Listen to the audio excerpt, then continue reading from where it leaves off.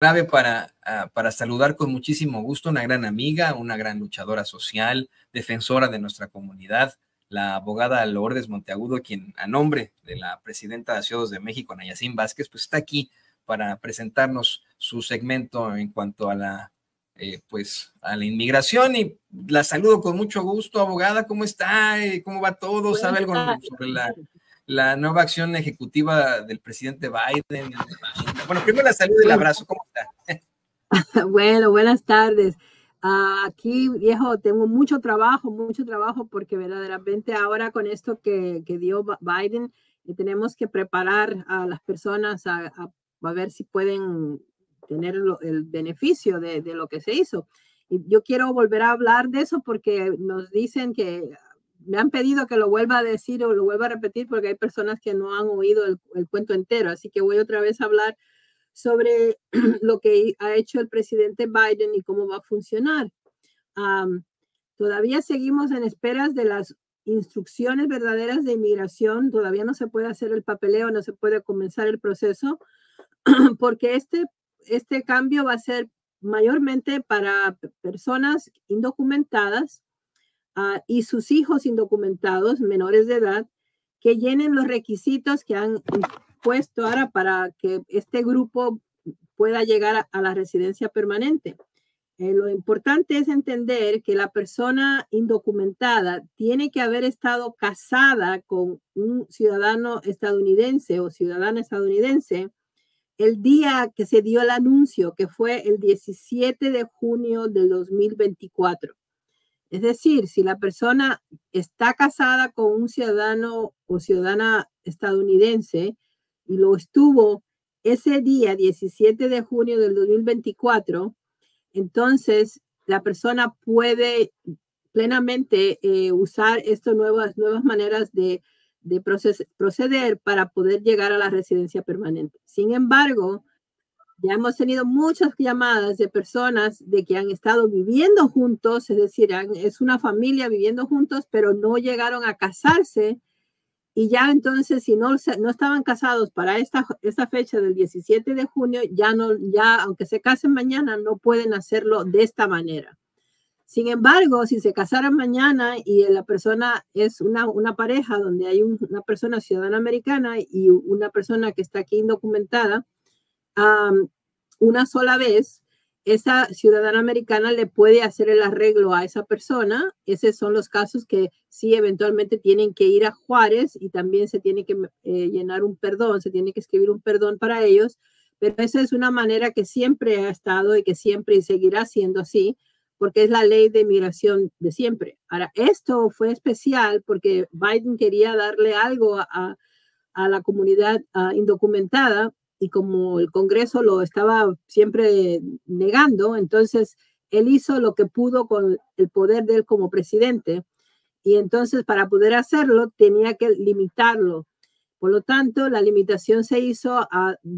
pensando en las familias donde ya hay un ciudadano estadounidense que se ha casado con una persona indocumentada ah, y los hijos indocumentados que pueda haber eh, de esa relación. Eh, lo importante no solamente es de haberse casado, sino también es de que puedan demostrar, fíjate, que los 10 años, por lo menos 10 años que han estado aquí ilegalmente, 10 años. No puede ser menos de 10 años, puede ser más de 10 años, pero no menos de 10 años. Y uno tiene que poder demostrar con evidencias que uno ha estado aquí en los Estados Unidos 10 años o más sin poder arreglar. No quiere decir que uno tiene que estar casado con la persona 10 años o, cualquier otra manera de pensar que, haga que se haga más difícil la situación, sino nada más de que tiene que haber estado casado con una ciudadana americana el, el, día que se anunció, el 17 de junio del 2024, y la persona indocumentada tiene que demostrar que ha estado en los Estados Unidos 10 años o más sin poder arreglar. No importa si fue después del casamiento o antes del casamiento, como sea, que, pero ha estado aquí 10 años o más. ¿Por qué 10 años o más? Porque no sé si se acuerdan en otra conversación que tuvimos hace un, montón de tiempo, que 10 años es el castigo que le ponen a las personas que entraron ilegalmente uh, una vez. entonces se supone que si la persona está aquí y ya ha estado aquí 10 años,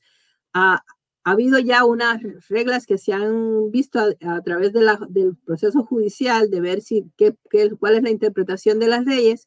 y ha dicho que si es una persona que ha estado aquí legalmente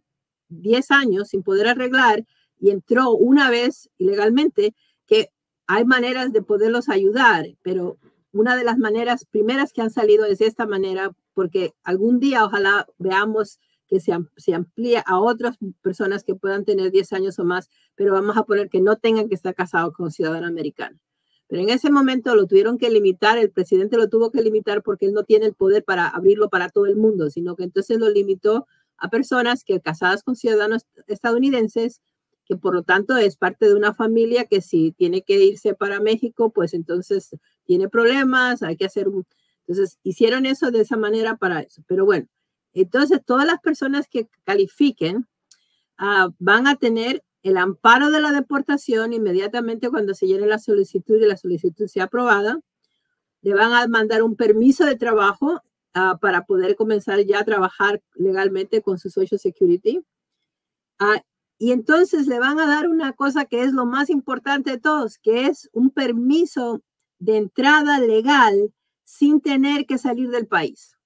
qué es lo que le falta a las personas que tienen que salir del país para entonces después regresar uh, ya con su residencia. Pero en el caso de esto,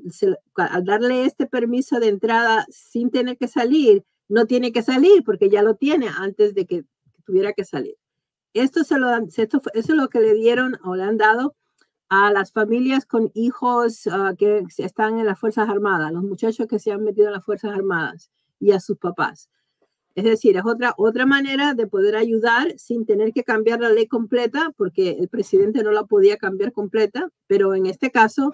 las personas que tengan este, ese, esa parte del parole in place, que se llama en inglés, pues ya no se tienen que preocupar de la entrada ilegal.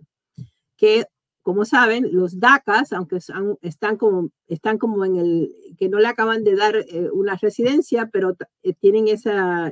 ese programa que hicieron de DACA, y en el caso de ellos, ellos no le están dando la, entrada legal a los Estados Unidos, pero para hacerlo, sí pueden, un, DACA puede salir del país con permiso de inmigración y entonces ya cuando regresa, como regresa con permiso de inmigración, entonces se le borra también la entrada ilegal.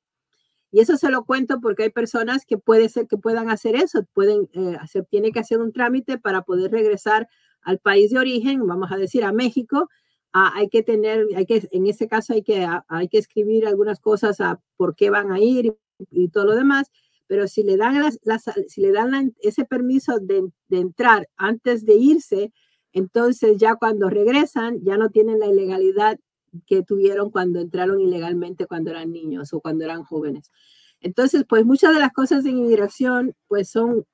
son parecidas, pero uno tiene que entender el caso eh, que uno tiene. Em, nos preocupa que hay personas que, que por, por querer tratar de, de, de, hacer lo que ellos creen que esto significa, que lo vayan a tratar de hacer solas y que al no entender todo lo que inmigración exige para esos tipos de trámites, comiencen un proceso que después no le va a salir lo que ellos quieren y que no va a salir bien. Y sin embargo, si ya comienzan, ya, ya se entregaron a inmigración porque mandaron los papeles a inmigración, entonces uno nunca sabe si vamos a poner, hubiera un cambio de gobierno o algo así, donde eh, la persona que está como presidente no quiere ayudar a los inmigrantes, le pudiese usar porque ya lo tienen ya fichado que esa persona existe y dónde está y todo lo demás y que no tiene una entrada legal. Todo esto todavía,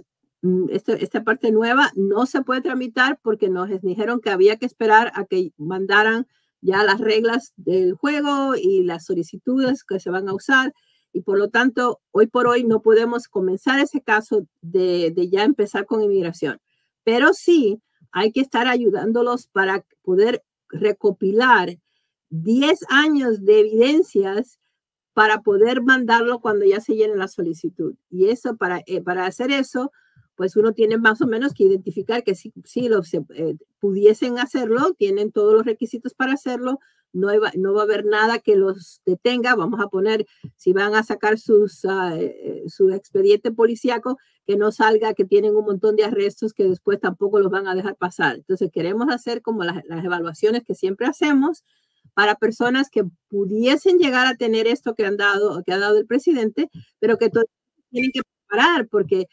a veces uno dice, no, pero yo sí he estado aquí muchos años, yo sí puedo, pero ya cuando uno empieza a buscar las evidencias, encuentra de que como que no saben por dónde comenzar a buscar evidencias y las evidencias se tienen que traducir si están en español, si están en inglés están bien, pero se tienen que se, se llama certificar, hay que certificar que es una copia original de, que se va a mandar una copia de eso, porque siempre todo va a mandarse por correo.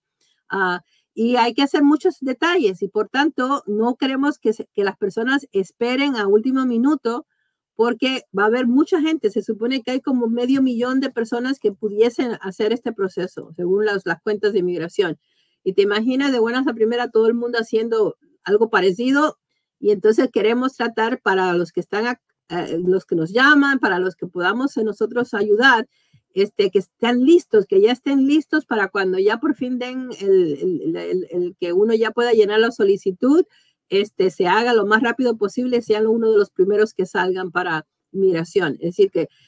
hay que tener mucho cuidado porque estos tipos de casos, pues si uno cometió un error ya entonces no, no sirve porque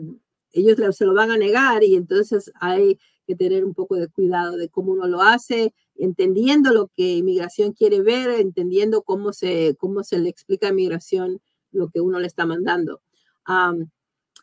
pero bueno, ese es, el, ese es el cuento grande que hay y seguimos. Mucha gente que yo sé que sí quiere poderlo hacer perfectamente bien, pero no, estamos, ajá, no estamos oyendo porque nosotros tratamos de ver quién más está hablando de las cosas. No se está oyendo mucho movimiento de la información y por eso pues digo, bueno, mejor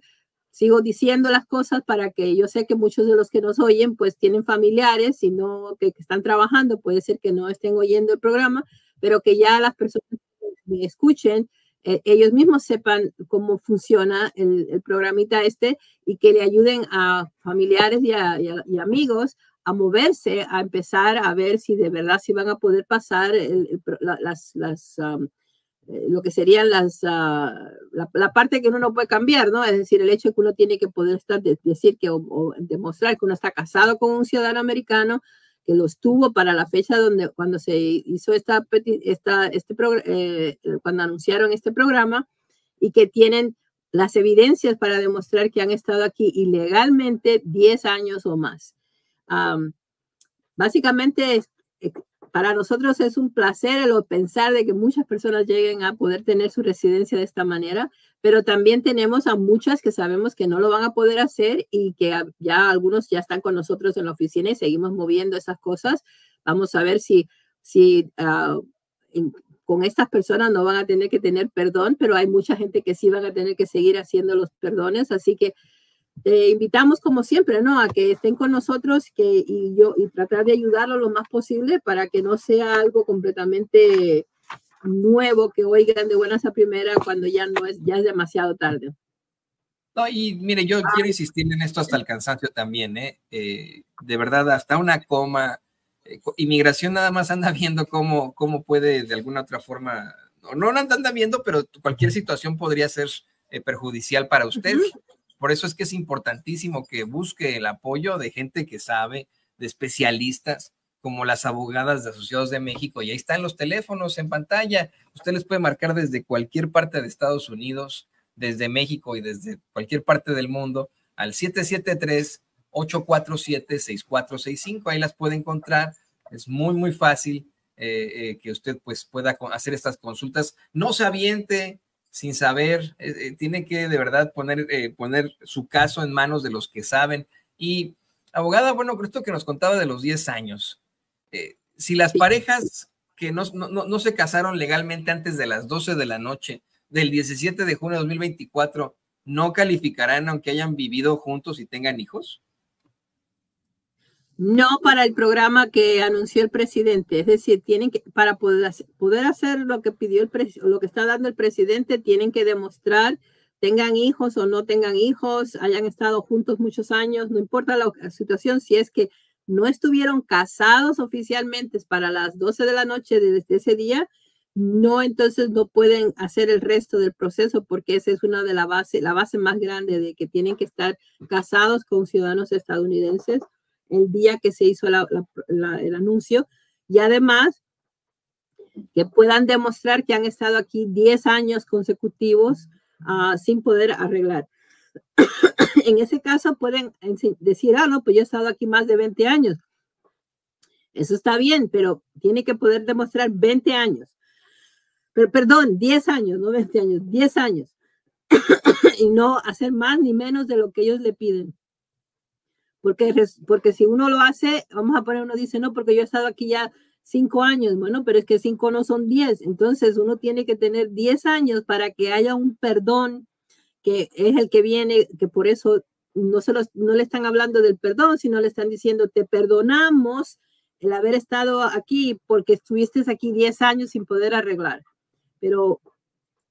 uno tiene que llenar los requisitos y para poder demostrar que uno ha estado aquí diez años, hay que demostrarlo con, con ah, evidencias sólidas. Hay que buscar recibos, hay que buscar cartas, hay que buscar eh, documentos del trabajo, documentos de, vamos a poner, de los niños en la escuela, donde los papás fueron y registraron a los niños, a documentación del, vamos a ver, del nacimiento de los niños, porque se supone que eso dice que la persona físicamente estuvo aquí en los Estados Unidos, no que nada más oyeron de que esto eh, se había anunciado y que de buenas a primera aparecen como que acabaditos de llegar y entonces quieren eh, que le den esto. A los acabaditos de llegar no le van a dar nada de esto. Es más, todos los que están acabaditos de llegar se le está poniendo más y más difícil todo el proceso.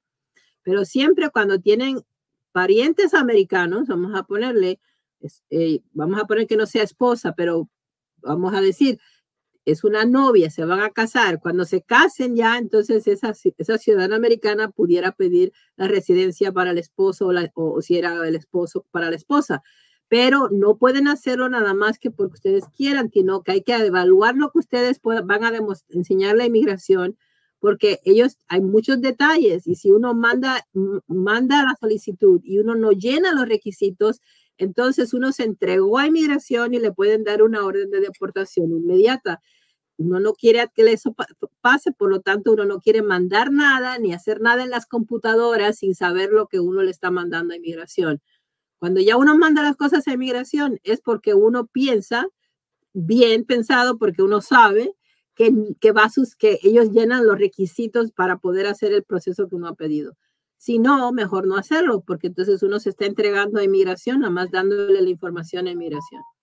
Y la otra cosa que hay que tener mucho cuidado es de que puede ser que uno llene los requisitos. Vamos a ponerle, uno se está casado con una ciudadana americana, tiene, ha estado aquí más de 10 años, pero ¿Qué pasa con la cuestión de los arrestos con, con, la policía normal? Porque nada de eso se desaparece. No le están dando un perdón y quitándole todas las, todas las otras cosas que uno tiene que demostrar cuando uno hace los papeles de inmigración. Entonces, para estar preparados, uno tiene que ir a la policía, sacar las, la evidencia que dice, vamos a poner, sí, yo tuve un problema, pero el juez me quitó el caso, no, nunca fui a la cárcel, no me, sí me arrestaron, pero se terminó el caso bien y no hay ningún problema hay personas, Toñitos, que ahorita están queriendo buscar abogados criminalistas para que ellos vayan a, los, a, ver a los jueces para que le bajen los cargos que le dieron hace un montón de tiempo. Y aunque parezca que no, sí se puede hacer ese tipo de cosas, pero uno tiene que hacerlo con tiempo, uno tiene que, vamos a poner en el caso de ir a, hablar con un juez para que le baje algo de algo que sucedió hace muchos años, tiene que ser usualmente con un abogado criminalista que entonces haga un proceso para que le ayude a usted a quitar algo que pudiese ser un problema cuando ya uno lo mande a inmigración.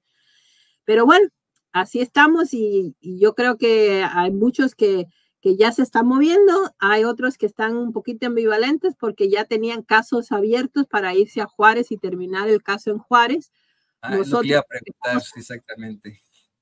Sí, eso es una cosa, pero nosotros, eh, la, posición que nosotros hemos tomado es de que todas las personas que están ya casi listas para irse a Juárez, obviamente han estado aquí uh, mucho tiempo, si han estado más de 10 años casados, perdón, la persona indocumentada ha estado aquí más de 10 años, pues pudiesen tener, hacer este caso, esto y no hacer, no completar lo que empezaron con el proceso consular. Pero el problema es de que como ya está en proceso,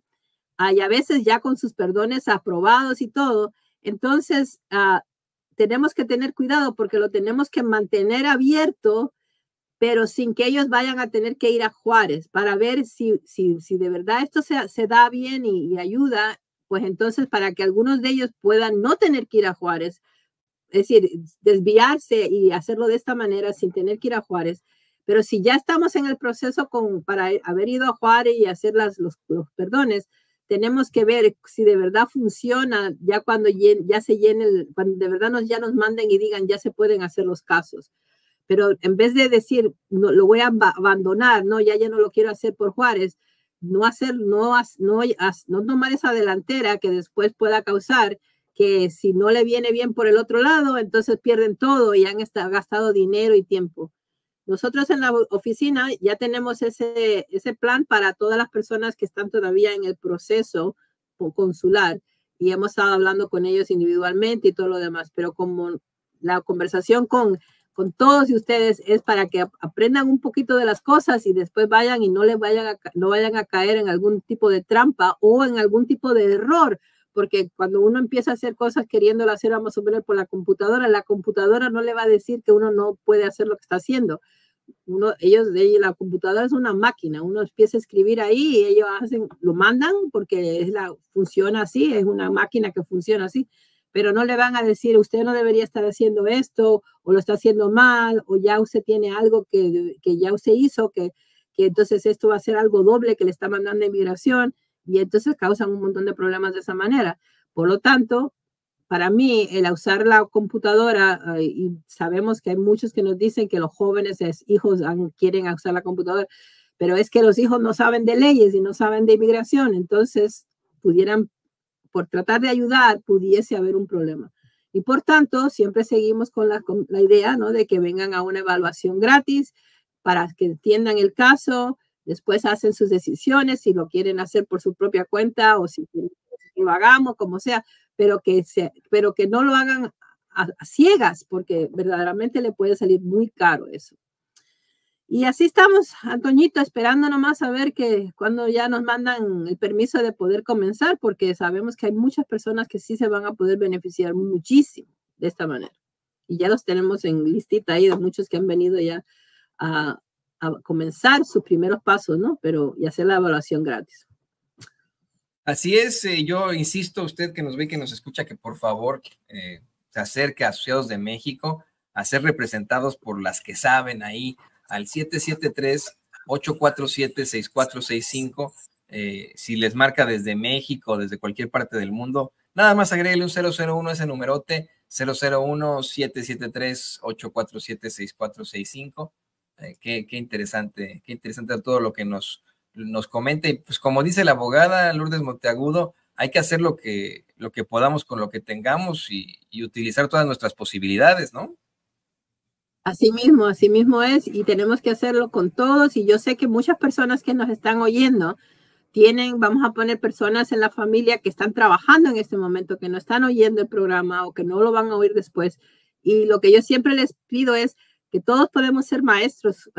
si nos ayudamos unos a los otros. Es decir, estamos oyendo información, pásenle la información a otras personas que posiblemente no hayan podido oír o no oigan o, a veces están un poco ah, preocupados y no, y no piensan en tener que preocuparse de estas cosas que están pasando alrededor nuestras. Y además quiero darle las gracias a muchísimos y Ana Yacine ya está haciendo la lista de muchísimos que han estado yendo a la oficina porque se quieren hacer ciudadanos. Y eso sí que también a mí me, alegra mucho porque cuando ya de todos se hagan ciudadanos van a tener la voz y el voto y para mí eso es verdaderamente el futuro de la comunidad aquí en Chicago, porque si no hay voto, alguien pueda votar por nosotros y entonces no necesariamente es lo que nos conviene como comunidad. Es momento de que podamos participar, ¿no, abogado? Yo también estoy en eso. Ahora sí. tenemos a la elección tan cercana, que acaba de haber un cambio muy importante, que efectivamente, como lo mencionaba el presidente Biden ayer por la tarde, pues nos enfrentamos acá en Estados Unidos a,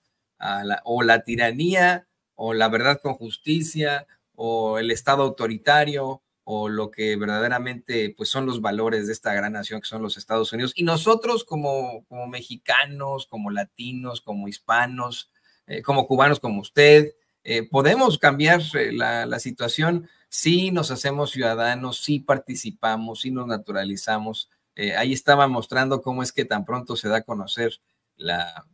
pues, sustitución del presidente Biden por la vicepresidenta Kamala Harris eh, eh, obtiene un, gran apoyo por parte, por ejemplo, de los latinos y hoy en la mayoría de las encuestas está superando levemente, pero supera ya a Donald Trump, así que pues esto se debe a que usted participa eh, y que pues no quiere tener una que lo quiere correr, lo quieren correr a usted por su, por su origen. Es que el señor Trump, la verdad que él ha, ha, dicho muchas cosas que uno tiene que ser un poco preocupante. Y verdaderamente, bueno, vamos a ver, pero ahora con la, señora Harris ah, ah, hay, que, hay que darle la oportunidad y ver, pero tenemos que entender que eh, el sistema americano aquí, esto todo funciona por votos, funciona por mayoría de votos, es decir, que hay que tener el, uno puede decir lo que uno quiera, pero uno tiene que tener el voto para poder ser parte de esa, del conteo de quién, a quién quieren, a cómo, cómo quiere que sea el futuro de esta nación. Y si ya somos parte de esta nación, entonces tenemos que entender uh, que también tenemos la responsabilidad de ser parte de ese proceso. Uh, y, y por eso siempre les digo, lo mejor es poder ser ciudadanos de los dos países. Si están aquí, tienen voz y votos aquí. Si están allá, tienen voz y voto allá. Y nadie le puede decir que no puedan ir para allá y que puedan venir para acá porque son ciudadanos de esos países. El ser residente nada más dice, tienes permiso para trabajar aquí. Ok, pero si ya quiero trabajar aquí, tengo familia aquí, quisiera tener voz aquí. Entonces, pues mejor hacer, ya pensando en, en esa voz y en ese futuro, el, el, hacer es dar ese paso ya cuando uno tiene la residencia permanente. Pues, Toñito, te dejo hasta la próxima semana. ¿Qué le parece que antes de que se me vaya, leemos los eh, saludos de la semana que ah, nos manda la queridísima Ayacín Vázquez? Mire, eh, saludamos con mucho gusto a Marco Cuenca de California, Melanie González de Jalisco, Patricia Hernández de Monterrey, Filiberto García de Puebla, Yanuel Rangel de Chicago, Alberto Aguilar de Carolina del Norte, Miguel Angulo de Posen, ahí en Illinois, Saraí Ballesteros de Michoacán, Nancy Pérez de San Miguel de Allende, ah, qué bonito, ¿eh? Charlie eh, Sánchez de Guatemala, Noé Rodríguez de Virginia, Santos Alemán del Estado de México, eh, Pilar Almazán de Coahuila, y un saludo especial para el señor René Solís, Guadalupe Villa, Cipriano Lubianos, Iraí Lubianos, Rita Ledesma, José Ángel Sarmiento, María de los Ángeles López, todos ellos pues recién llegaron de Juárez con su residencia permanente, algo que celebramos desde la semana pasada con la queridísima abogada Lourdes Monteagudo, quien está invicta en sus perdones. Y pues bueno, abogada, yo le quiero agradecer y... Antonio, yo quería, yo, yo estaba esperando a ver si quitaban los perdones y así no teníamos que hacer más perdones, pero no nos han quitado los perdones, así que sigo escribiendo perdones. Pero muy y no, los, no se ha perdido nunca, eso es lo mejor de nunca, todo. Nunca, nunca, estoy invicta en mis, en mis perdones, eso sí. Pero bueno, es un paso de esos que uno a veces quisiera poder decir, ay, no, no se tiene que hacer, pero bueno, inmigración, hasta que no cambien ellos, no podemos cambiar tampoco nosotros. Así es. Hasta la próxima semana. Bueno, pues ahí tiene usted a nuestra queridísima abogada Lourdes Monteagudo, quien a nombre de la presidenta de Asociados de México, Anayacín Vázquez, nos presenta este muy importante segmento aquí en Ciencia Censura. Gracias, abogada. Le mando un abrazo. Y